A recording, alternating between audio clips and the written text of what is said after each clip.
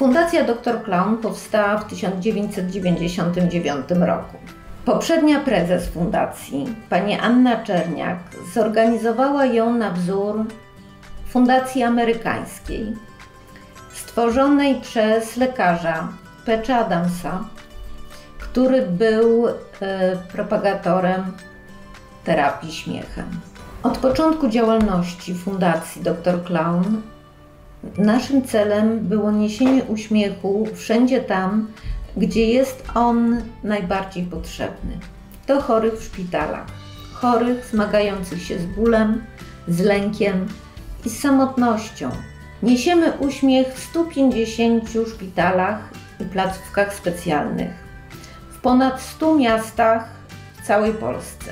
Przynosimy uśmiech 60 tysiącom naszych podopiecznych. Możemy pomagać naszym podopiecznym, ponieważ jest z nami aż 600 przeszkolonych przez nas wolontariuszy, gotowych do niesienia pomocy. Wolontariusze fundacji, doktorzy klauni, mm, wchodzą do szpitala przebrani w fantazyjne, e, kolorowe stroje. Mm, stosują e, najróżniejsze e, rodzaje narzędzi, które są im dane podczas szkoleń. Mogą to być najróżniejsze zabawy, interaktywne zabawy, animacje, sztuczki iluzjonistyczne, ale również wspierające rozmowy, e, bycie uważnym. To wszystko odwraca uwagę od procesu leczenia i e, daje motywację do walki z chorobą, ale również rozładowuje stres, rozładowuje napięcie, które jest spowodowane trudną sytuacją chorego. Terapia śmiechem y, jest skuteczna wobec wszystkich naszych podopiecznych.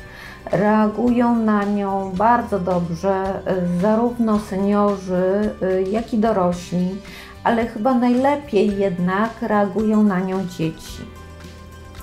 Dziecko jest osobą, która najciężej znosi proces leczenia i proces hospitalizacji w szczególności. Szpital to jest y, obce miejsce, y, to jest obcy szpitalny zapach niepokojący, to jest ból spowodowany chorobą, Y, poczucie zagrożenia poprzez bycie wyrwanym ze swojej normalnej, zwyczajnej rzeczywistości. No i również szereg różnych niepokojących, często bolesnych zabiegów, takich jak zastrzyki, pobieranie krwi. Dziecko w szpitalu jest wytrącone z roli dziecka, ponieważ musi być grzeczne, musi słuchać poleceń. Często jest tak, że, y, że nie ma przy nim mamy albo taty, bo nie mogą być, bo muszą być w pracy. Dziecko w szpitalu jest pozbawione poczucia sprawczości, ponieważ na nic nie ma wpływu. Często nie wie, co się z nim dzieje, nie zostaje mu to wytłumaczone. My, doktorzy klauni, y, chociaż na chwilę, Y, możemy y, po pierwsze wyrwać je z tej szpitalnej rzeczywistości, jak również właśnie przywrócić mu poczucie sprawczości poprzez danie mu możliwości wyboru, co się będzie działo w tym momencie, jak potoczy się zabawa, jak potoczy się rozmowa. Te takie wydawałoby się krótkie momenty naszych spotkań z dziećmi dają niesamowite efekty. I lekarze, i pielęgniarki, i również rodzice bardzo często mówią nam potem po naszych wizytach: To dziecko y, uśmiechnęło się pierwszy raz w tym tygodniu. To dziecko dużo lepiej po Waszej wizycie zniosło Mm, pobieranie krwi, zniosło y, swoje zabiegi rehabilitacyjne.